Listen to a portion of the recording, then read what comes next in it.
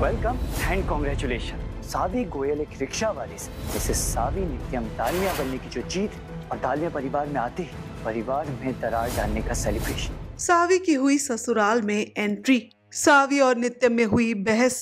जी हाँ कलर्स के popular TV serial सावी की सवारी के अपकमिंग एपिसोड में हम देखेंगे कि सावी की फाइनली उसके ससुराल में एंट्री हो चुकी है। वेल सावी का उसके ससुराल में ग्रैंड वेलकम होता है।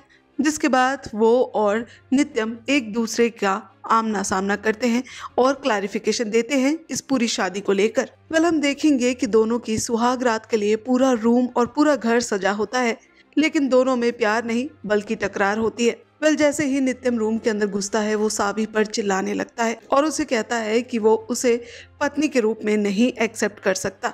वही सावी भी उससे कहती है कि उस नित्यम से शादी सिर्फ़ इसलिए की है क्योंकि नित्यम ने पहले हाँ कहा था। वेल इसी बातचीत के दौरान सावी के सामने नित्यम की मोम का राज भी आ जाता है। वेल सावी को पता चल जाता है कि नित्यम की मोम ने उससे झूठ कहा था। वेल नित्यम की मोम ने भी सावी का दिल तोड़ दिया है। वहीं अब ये देखना काफ़ी ज़्यादा दिलचस्प होगा कि सावी और नित्यम आखिर किस तरह से करीब आ पाएँगे। पर इस पूरी अपडेट को लेकर आप क्या कुछ कहना चाहेंगे, हमें कमेंट के ज़रिए ज़रूर बताएँ।